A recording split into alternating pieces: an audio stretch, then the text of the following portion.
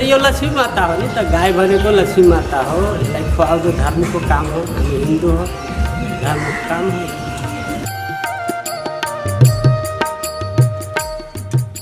गाईले हाम्रो देशको हिन्दू धर्मलाई चिनाएको छ विश्वभरिमा। महोत्तरीको गौशाला यस्तो पवित्र भूमि हो जहाँ गाईलाई नै लक्षित गरेर नेपाल सरकारले एउटा ठुलो अभियान चलाएको छ। हो आज हामी यिनै विषयमा तपाईँलाई जानकारी गराउन आएका छौँ महोत्तरीको गौशाला स्थित निगौल गाई गौशालाको यो गाई गोठमा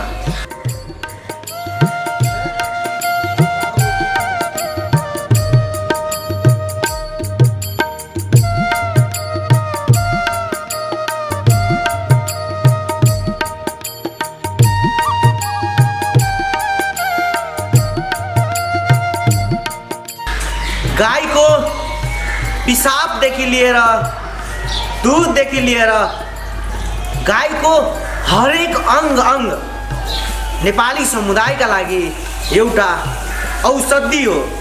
चाहे तपाईँ दुध खानुहोस् चाहे गाईको पिसाब सेवन गर्नुहोस् चाहे तपाईँ गाईको गोबरले आँगन निप्लोस् सबैमा हामीलाई एउटा ऊर्जा प्रदान हुन्छ। हामी एउटा औषधि गुण प्राप्त गर्छौँ। अहिले महोत्तरीको गौशाला स्थित यो निगौल गाई गौशालामा म अहिले छु र अहिले जुन ठाउँमा म उभिराखेको छु यो गाईको एउटा बथान हो। यसको इतिहास लामो छ। दरभङ्गा महाराजले गौशालामा कुनै समय दुई सय बिघा जमिन र सयौँ गाई यहाँ ल्याएर गाईलाई संरक्षण गर्नुपर्छ भनेर एउटा अभियान नै थालनी गर्नुभएको थियो।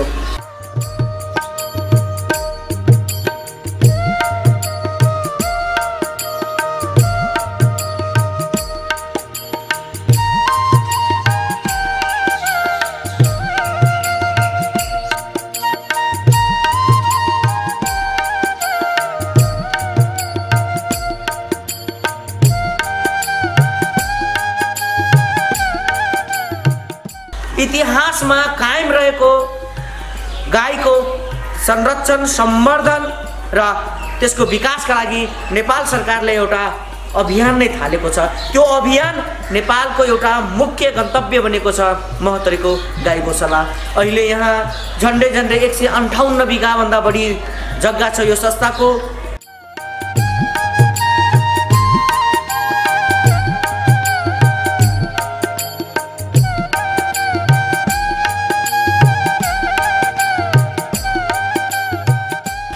निगोल गाई गौशालामा आधुनिक र रैथाने जात गरी करिब करिब तिन सय गाई बाछा बाछी रहेको छ। यो अभियान एक किसिमको गाईलाई रक्षा गर्ने विकास गर्ने र संरक्षण गर्ने अभियान हो। यस अभियानमा महोत्तरीको गौशाला स्थित दस बिघा क्षेत्रफलमा फैलिएको यो फार्म हाउसमा अहिले झन्डै झन्डै एक सय अन्ठाउन्नभन्दा बढी आधुनिक खालको गाई बाछा बाछी यहाँ पालिएको छ। दैनिक रूपमा एक सयदेखि डेढ सय लिटरसम्म दुध उत्पादन हुन्छ। यो दुध यही गाउँका वरिपरि र बजारमा लगेर बिक्री गर्ने गरिएको छ। तो गाय के दूध के जरूरी एक पबनी त्योहार सब में दूध के काम लगे छै। दूध के लिए फैलाए जते कहीं नहीं से उठाना उठाना गरीब सबके मिलल दूध है नीमन दूध मिलल पानी नहीं फेटल ना मिलल। स्थानीय स्तरमा यो निगौल गाई गौशालाले चौतर्फी किसिमको विकासको ढोकाहरू खोल्न लागेको छ। रैताने गाईहरूलाई संरक्षण सम्वर्धन गर्ने र आधुनिक जातको गाईलाई विकास गर्ने लक्ष्यका साथ स्थापना गरिएको गाई गौशाला यो ऐतिहासिक कालको हो। दरभङ्गा महाराजले वर्षौँ अघि दिएको जग्गा र गाईलाई नेपाल सरकारले अहिले संरक्षण गरिराखेको अवस्था छ। महतरीको गौशाला बजारमा रैथाने गाईहरूको सुरक्षा सेवा गरिएको छ भने यहाँ आधुनिक किसिमको गाई फार्म निर्माण गरिएको छ। दस बिघा क्षेत्रफलमा फैलिएको यो आधुनिक गाई फार्मले देशलाई एउटा दुग्ध उत्पादनको क्षेत्रमा अगाडि बढाउनु पर्छ भनेर यहाँबाट हुटहुटी जगाइराखेको अवस्था छ नेपाल सरकारले वार्षिक यो गाई फार्मलाई व्यवस्थापन गर्नको लागि दस लाख बढी सहयोग पठाउने गर्दछ। तर त्यो सहयोग समयमा नआउँदाखेरि पा यहाँ गाई रक्षाका लागि समस्या हुने गरेको यहाँका एक कर्मचारी सुरेश सिंह बताउनुहुन्छ।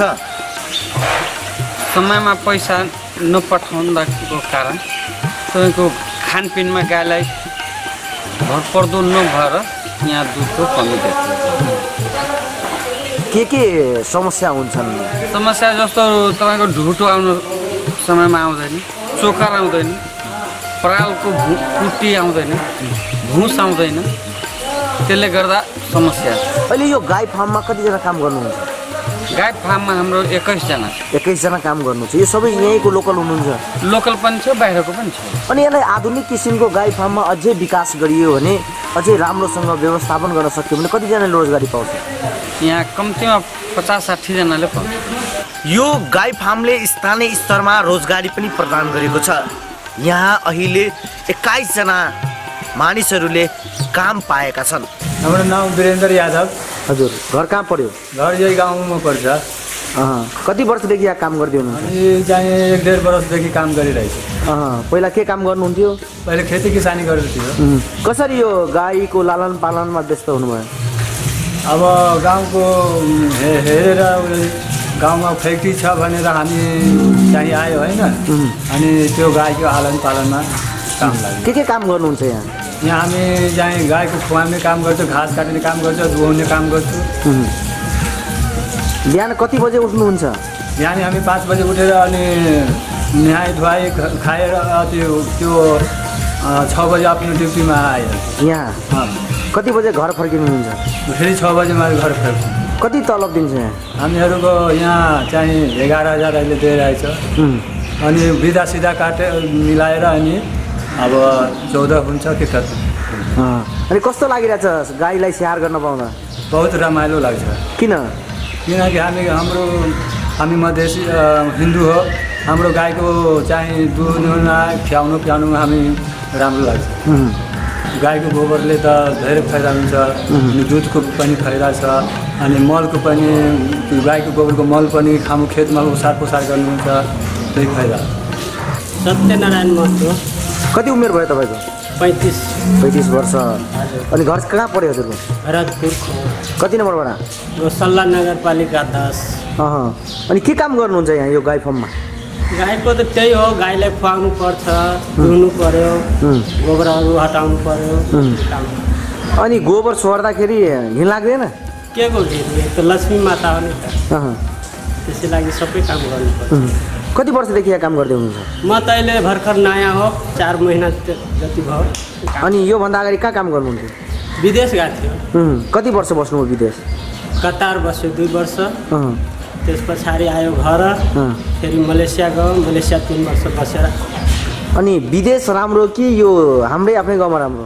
अब त यो लकडाउनको लागि त यही राम्रो। यहीँ राम्रो। किन?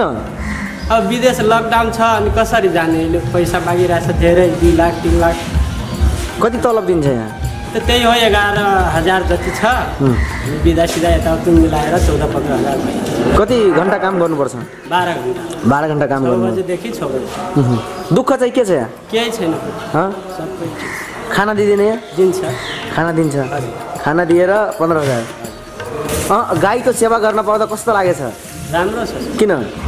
फेरि यो लक्ष्मी माता हो नि त गाई भनेको लक्ष्मी माता हो। यसलाई खुवाउँदो धर्मको काम हो हिन्दू हो धर्मको काम हो। स्थानीय स्तरमा किसानहरूले गाई पाल्दाखेरि देखिएको समस्या समाधानका लागि पनि निगौल गाई गौशालाले स्थानीय किसानहरूलाई सहयोग गर्दै आएको छ।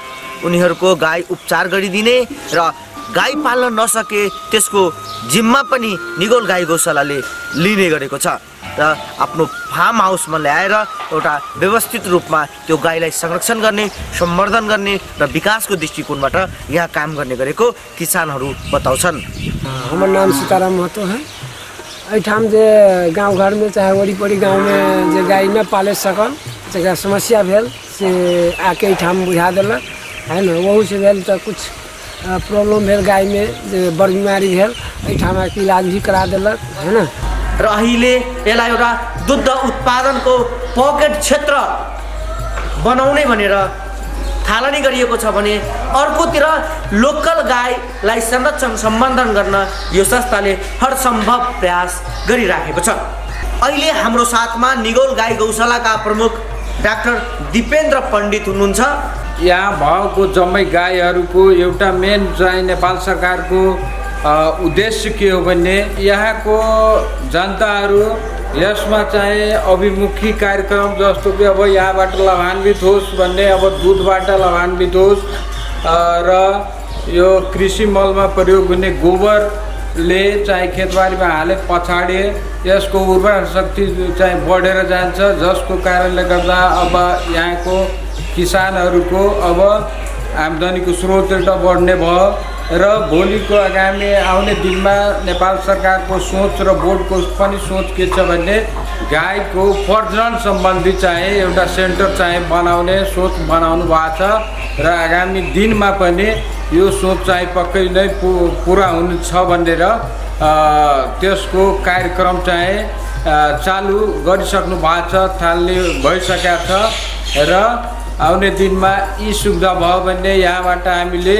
त्यो ब्रिडिङ सेन्टरबाट थुप्रो किसिमको अब के होलेस्टेन र जर्सी जातको चाहिँ सिमेन्ट कलेक्सन गरेर एआई सेन्टरबाट हामीले अब हरेक जिल्लाहरूमा देशैभरिमा चाहिँ पुगाउने चाहिँ यसको लक्ष्य रहेको छ र यहाँको गाईको जति दुध उत्पादन हुन्छ त्यो चाहिँ लोकल गाउँलेहरू या बाहिरको मान्छेहरू अरू अरू जिल्लाबाट या नजिकको भए पनि त्यहाँबाट चाहिँ शुद्ध दुध प्युरिटी बनाएको मतलब हन्ड्रेड पर्सेन्ट शुद्ध दुध चाहिँ खान पाउँछ र त्यसमा पनि गाउँघरको अपेक्षा यहाँको एउटा सरकारी दर रेट चाहिँ तोक दिएको छ। त्यसमा पनि एकदम चाहिँ न्यून भयो। गाउँघरको तुलनामा यो चाहिँ न्यू न्यून चाहिँ रेट राखेको छ र यसमा प्युरिटीको भन्दाखेरि एकदम हन्ड्रेड पर्सेन्ट प्युरिटी हुन्छ। यसमा केही पानी मिसावट हुँदैन। त्यसको लागि दिन प्रतिदिन मान्छेहरूको घुइँचो लागिरहेको हुन्छ। अब बिस बिघा एउटा चाहिँ गाईहरूको दानाको लागि छुट्याएको छौँ घाँस भुसाहरूको लागि। त्यसमै चाहिँ हाम्रो घाँस घाँसहरू उब्जाउने गरेका छौँ।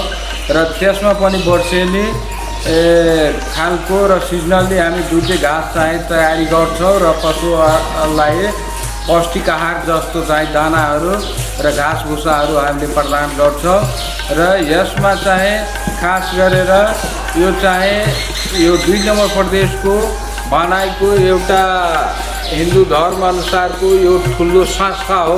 यो हामी सबजना मिलेर चाहिँ यसलाई झन् चाहिँ जुन अवस्थामा छ त्योभन्दा पनि अगाडि बढाउने चाहिँ सोच लिएर यसलाई चाहिँ अर्को प्रदेशमा या विश्वभरि या आफ्नै देशमा चाहिँ फैलाइने गर्नु पर्छ भन्ने मेरो सोच हो र यो सोचलाई सबैले मिलेर पुरा गर्नुपर्छ भन्ने एउटा विश्वास छ। निगौल गाई गौशालालाई सबै प्रकारले व्यवस्थित संरक्षित र सम्वर्धन गर्दै यसबाट चौतर्फी रूपबाट हामीले फाइदा लिन सक्नुपर्छ। राजकरण महतो नवराजपुर महतरी